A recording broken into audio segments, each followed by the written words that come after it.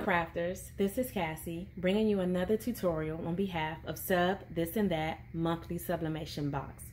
For today's tutorial, we're working from our August 2021 box titled, What Does Your Office Space Say About You?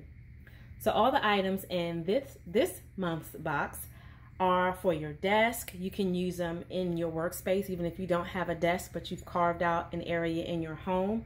Um, they can also be used as gifts for your teachers and administrators, or you can use them for your children at home for as part of their school supplies. So for today's tutorial, we're going to be sublimating on this ruler. You can see it on this ruler. And um, this will be pressed in your heat press at 365 degrees for 60 seconds on medium to heavy pressure. The first thing you want to do is there is a plastic film on the ruler. You want to remove the plastic film. And the plastic film is actually on both sides.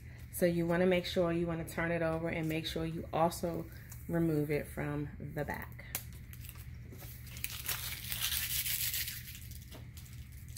And then we're going to line this up and tape it down and put it on our press.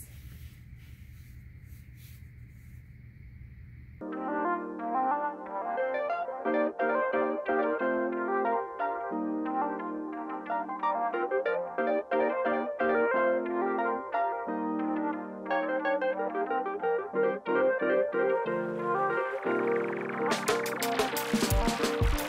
came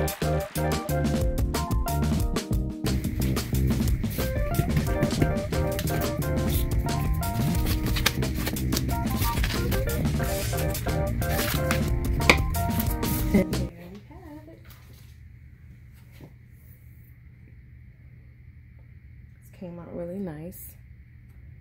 Um, I might actually try to sub on the back. I didn't even think about that.